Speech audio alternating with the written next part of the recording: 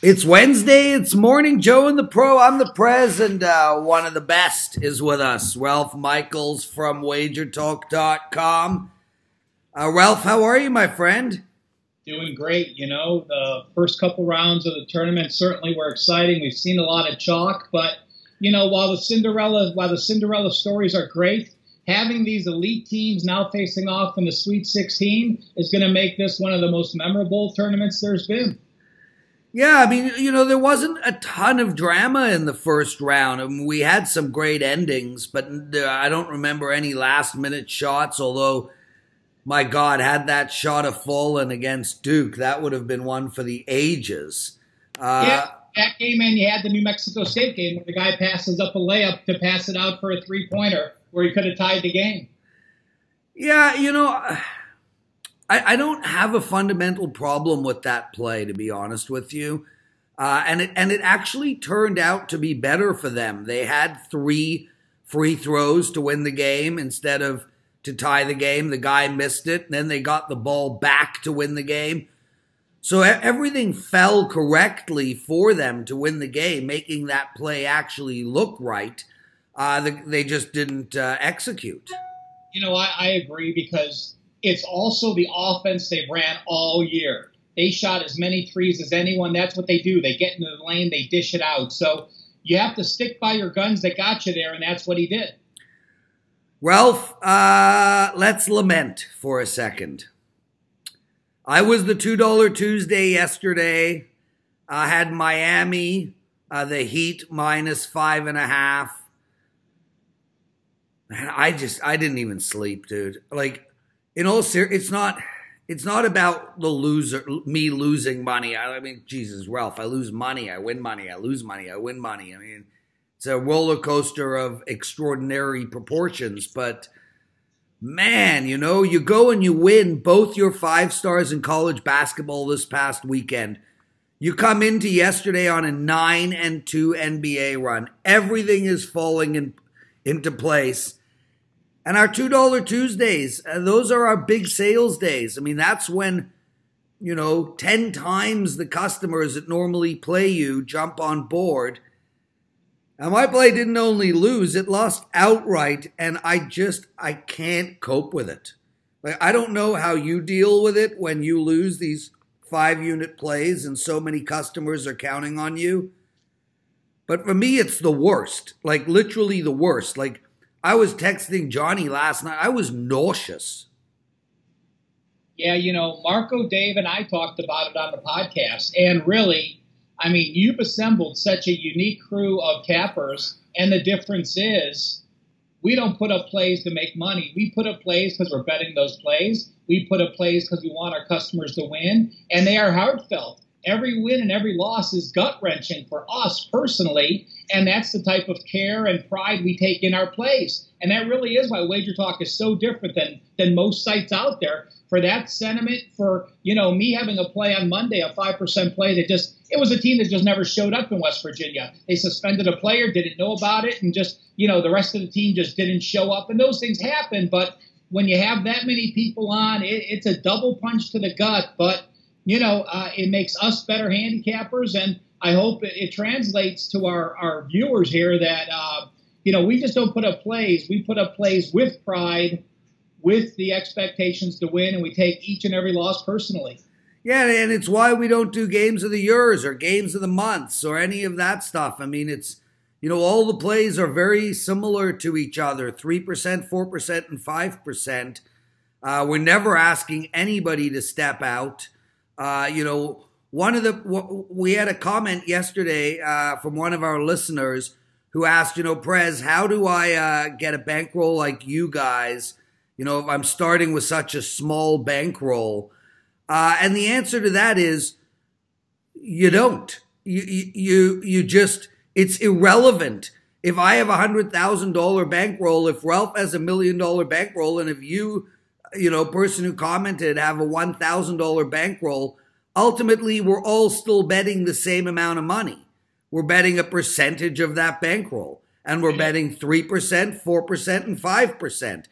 And you just grind it out. Don't get caught up in, you know, how do I make as how do I get a bankroll as large as you? I don't know. Take your old bankroll, throw it on an 11 team parlay. You'll have a bankroll as large as me or zero. Most likely zero. You know, one correction, Prez. We don't have games of the year. We do have games of the month, which are a little bit of a standout thing, but I just wanted to correct you on that. Statement. Yeah.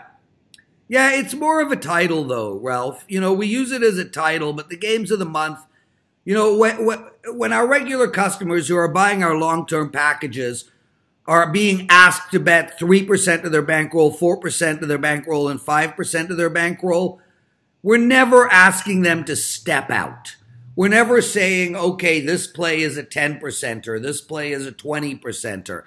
It's grind them all the way. And you know, I said to Johnny last night after I lost the Miami game, sports betting is like how I play poker. I don't want to be all in every five hands. I, I, I don't don't give me aces. Don't give me kings. I don't want queens or jacks. I want 10 jacks suited, king queen suited, ace king suited. I want six and seven, seven and eight. I want to grind, Ralph. I w- I don't want, I'm too old for that heart palpitations of having a pair of aces and two guys going all in in front of me and then having to call knowing that even though I have the best hand, I'm still a very short favorite to win. Uh, I, just let us grind. Yeah, you know, the key to all these people, and, and March Madness brings out a lot of new betters like the Super Bowl does. And, you know, it's this we use three, four, and 5% for a reason.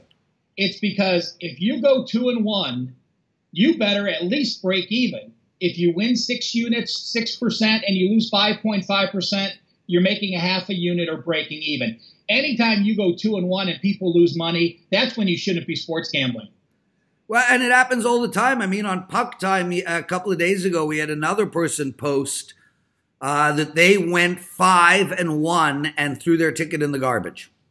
Parlayed everything to the win- to the loser, right? Yep. Yeah. Calgary, Calgary against Detroit. Anyway, Ralph, let's get to it, brother. It's Morning Joe and the Pro. Uh, what I want to do first is talk about what's going on at wagertalk.com. And then we're going to look at two games for Thursday and two games for Friday. Uh, both all college basketball. I mean, it's such an exciting time right now. But also, baseball is starting. Uh, I, I, I do really well betting baseball, Ralph. Uh, where are you at with that? You know, I'm I'm just getting into baseball. I'm not. You know, to me, I, am very limited in my baseball plays. Uh, it's not my passion like college football and college basketball. I put it fourth on the list. But with that said, you know, we do the first pitch newsletter that'll be starting after the first week. That'll be free at Wager Talk every day. Hey, hey, hey, hey, hey! You can't call it the first pitch. As we talked about this last night, drinking with uh, Brian and Marco. First pitch was the newsletter that you had at Wager Talk all last year, each and every day for free that I put out. Okay, fine. You know what, Ralph? We're a team. We'll call the show first pitch. We'll call the newsletter first pitch. We love you. That's What's right. going on at wagertalk.com? Uh, the play today period is Carmine Bianco. He's got a 5% uh, NHL side play. Uh, his NHL season has been absolutely ridiculous. Uh, he's had some outstanding runs. He's up massive profit for his clients. And he's got a 5% play tonight in hockey. Uh, it's regularly uh, the 5% plays are $30 at wagertalk.com. Uh, Carm's play is 10 bucks for all you listeners. Use the promo code CARM10. That's C A R M 10. Uh, so head over to wagertalk.com and check it out. Uh, and don't sleep on Kyle Anthony's UFC, Ralph. We spoke about this yesterday with Drew Martin. 69% in his last 14 months of betting UFC as a play up uh, for Saturday, uh, and that's exciting. And we've got so much going on in the Sweet 16. Uh, Tony Finn's got a 5% play. Uh, I've got a 5% play.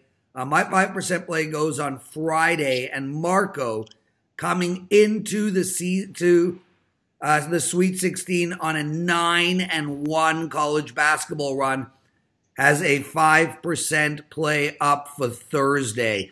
And you know what his loss was?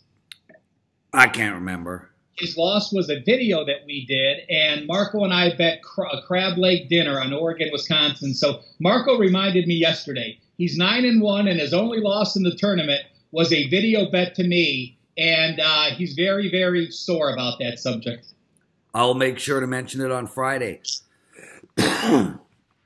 uh, let's go, brother. Uh, I'm just going to throw the game. Let, let, I'm going to throw some games out at you. Let's start with Gonzaga.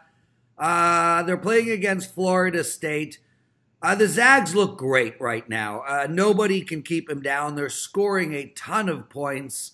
Uh, 83 against Baylor. Uh, they almost covered that game, Ralph. I did bet Gonzaga there. Uh, they missed by a bucket. They are now minus seven and a half uh, against Florida State. The over and under is 146 and a half. And look, Florida State, man, they look great against Murray State. But the bottom line is, I think these two teams are in different leagues. Uh, I, I, you know, I think we're gonna have oh, and and the backdrop fell. That's okay. Uh, I think we're gonna see a lot of this in the Sweet 16. Uh, you know, with a team like Auburn and a team like Florida State uh, and conversely, a team, you know, and also a team like Virginia Tech. Uh, now we're getting into the big boy territory. Uh, I like Gonzaga here, minus seven and a half. Well, I've been on the Zags for the tournament. I am heavily invested in the Zags to win the national champion. Got him back at nine to one a, a while ago. But in this case, I actually disagree with you. I like Florida State.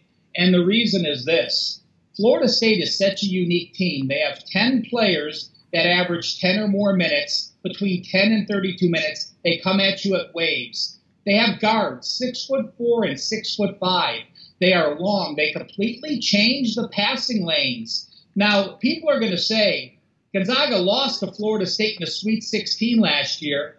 That doesn't mean crap to me. Can you be more motivated than being in the Sweet 16? Saying, oh, we lost to a team, we have revenge. It's the Sweet 16. There is no more motivation than being there than that. Leonard Hamilton for the Seminoles, six and one ATS as a March Madness dog. I think uh, the Seminoles hang close. I like the Zags to win the game in advance, but grabbing that many points with, with this type of Florida State team, uh, I am going to back the Seminoles. Uh, he's Ralph Michaels from Cal Sports. You find him at wagertalk.com. I'm the Prez. It's Morning Joe and the Pro, and everybody, don't forget, we have a baseball show starting April 8th. Uh, it's called First Pitch. It's exactly the same format as Puck Time. I'll have one to two guests on per day. We'll take apart the entire board. Um, the first two first pitches are already up. They're our preview show. You can find them uh, at our YouTube channel, Wager Talk TV. And Ralph, we just crossed 20,000 subscribers on our YouTube channel. So stay tuned, everybody. We're going to be giving away some uh, some stuff next week in celebration. What I mean, how generous! A free twenty dollar coupon. That's an amazing gift. We were talking about it on videos. We were close to reaching that threshold yesterday, starting videos. We mentioned it on a few videos, and those subscribers jumped on board. Uh, Texas Tech uh, against Michigan. I think this is a fascinating game. Uh, I think this could come right down to the. This could be our, our buzzer beater. Uh, Michigan is minus one and a half. Uh, Texas Tech looked really good. Uh, they just blew Buffalo away. They blew both teams away. I mean, they haven't even. They, they haven't even been. I think maybe the first minute of each game is the only time it's been close. But Michigan the same way completely dominated Florida.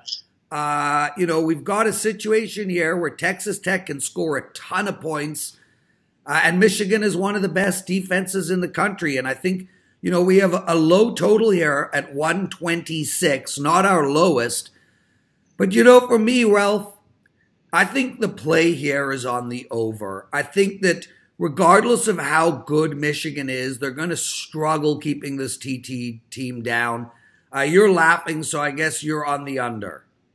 Yeah, you knew it. We were disagreeing again. I, I, think the total. I think the total should be 117, 118. I think there's seven or eight points of value. You have the number one and number two teams defensively efficient, deficiency wise.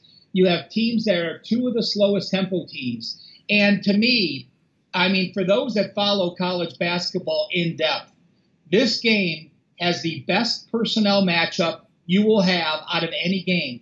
Charles Matthews for Michigan missed the last three games of the regular season, only played 20 some minutes in the Big Ten tournament. He's now back and healthy. He is one of the best defenders in college basketball. He's going to be matched up to my player of the year, Jarrett Culver, who's just phenomenal. He's going to be a top five or six draft pick in the NBA. Again, my best player in college basketball this season. And when you look at Michigan, you know, what concerns me about the Wolverines is this Michigan State and Texas Tech are very similar guard play, slow play, great defenses. Michigan led Michigan State 41 29, 75, uh, 35 23, and 51 45. Late in the game, they got outscored 36 19, 52 28, 32 19. Michigan's offense really bogs down late in the game. They don't have that go to scorer. So with Matthew slowing down Culver, the team slowing down in the second half, I, I believe there's value with the under. Well, I mean, we're allowed to disagree, brother, and and you know we should talk about that really quickly because people say to us, you know, why why do you disagree? How come you sell a pick on one side, and another person sells a pick on the other side, and the bottom line is we all handicap differently and we all have our, our, our methods and our ways and our systems and we don't talk. You know, I when have I ever called you and asked you what game are you on or or should I bet this game or should I bet that game? And certainly you don't call me for that. I mean, from my perspective, Ralph, Michigan is a very methodical team. Uh, they like to use up the shot clock. Uh, they probably make 12 p- passes before they even shoot the ball. But Texas Tech, you know, for however slow they play, this team scores. Uh, you go down their last 10 games, and, and I understand none of them were against Michigan. Uh, I understand that some of them were against fast teams. But, you know, 78, 72, 74, 80, 70, 81, 84, 91, 86, 78. There is no reason to think Texas Tech will not be able to get into the low 70s here. Uh, it's just a matter of who's going to dictate uh, does Texas Tech play down to Michigan's defense, or will Michigan have to uh, speed up? And the interesting part of what you're saying is Michigan struggles to speed up at the end of the game, and they struggle to close out. Uh, and listening to you, that leads me to think maybe Texas Tech plus one and a half might be the play because I don't see how they don't get into the high 60s. Well, I'm going to give just our, our, listeners the flip side to you saying Texas Tech scored all those points.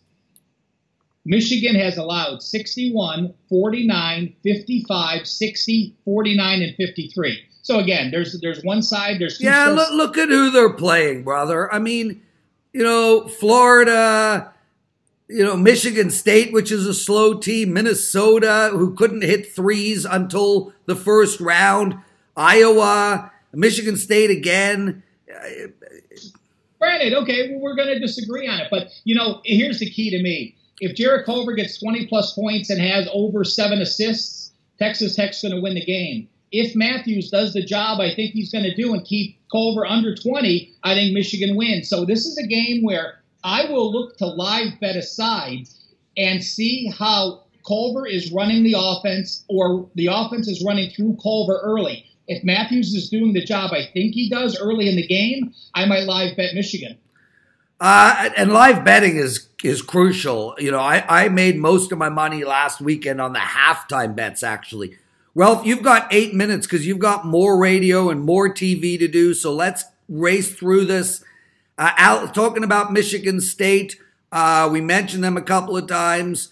Uh, they're playing LSU here. Uh, you know, they had their scare against, uh, against Bradley. I mean, they won by 10, but Bradley kept it close right to the final four five minutes.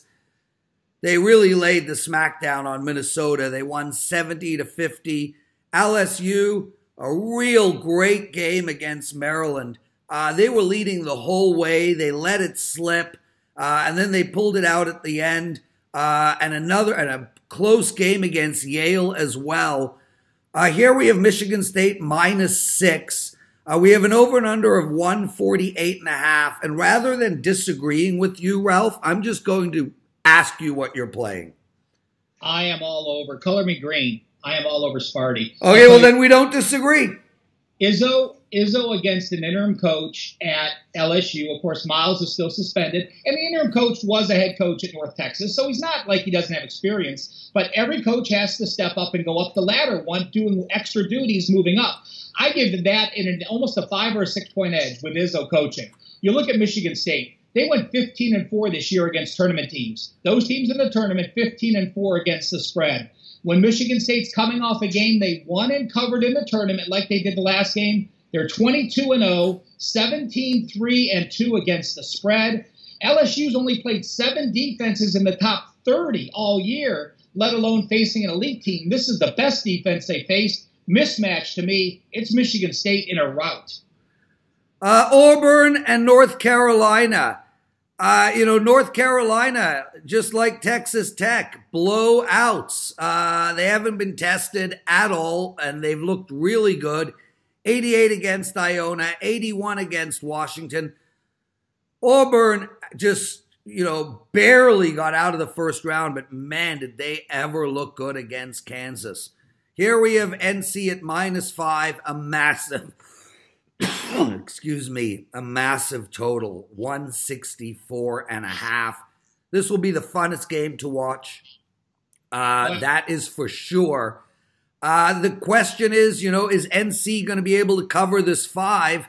You know, for me, I like NC here. I think people are going to be looking to bet Florida State, uh, which we spoke about earlier, and I think they're going to be looking to bet Auburn, and I also think they're going to be looking to get to bet Virginia Tech.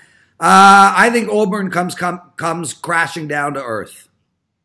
Um, I'm gonna go against you again. Sorry, I you know I look at think- these pipes, dude. Who goes against that? It'll it'll be fun. It'll be a beer bet, and we'll see who comes out of the two of the three we disagree. Hey, none of these are my plays up at wagertalk.com. I got a three pack for Thursday and Friday, and none of these games are included. You know, to me, Auburn is almost the identical team of North Carolina. You're deep, you run the ball. Auburn's, Auburn had the most three pointers of any team in college basketball. They were number three in turnover margin. Can North Carolina get pressed? Not really. Coby White is an elite point guard, six foot five. But Auburn comes in waves, like we said. And you look at North Carolina, yes, they're number six in tempo. Yes, they have a lot of guys that score. Yes, they put up a lot of points. But teams that give up over 75 points in a tournament have not had success. March Madness, SEC teams over ACC teams, 23 and 11 against the spread.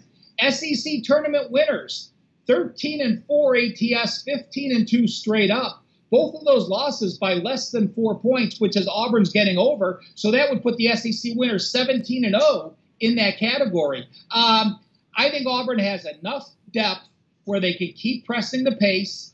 And if North Carolina gets out to a 10 point lead, Auburn's going to keep chucking those threes late can get easily get a backdoor cover with this team because they're not going to be worn out. They had the four days rest. They are going to run to you and keep shooting up those threes. And how many times late in the game do you see a team up by seven or eight, doesn't care those last few possessions? I think we're getting an SEC tournament champion with 10 players and, and good value at plus five against a non top 20 defensive team. He's Ralph Michaels. I'm the Prez. That, my friends, is Morning Joe and the Pro. Ralph, thanks so much, brother. I mean, next week I'm not around. Uh, I'm taking my youngest daughter, my uh, 15 and a half year old, to Whistler. The weather is going to be spectacular. Uh, Marco will be hosting. Hopefully, you'll come on. Uh, and listen, everybody, uh, Carm 10. That's $10 for Carm's NHL play. Baseball in earnest, I guess, starts tomorrow. Uh, we are incredible at baseball, so head over to wagertalk.com. uh, and check out our baseball guys.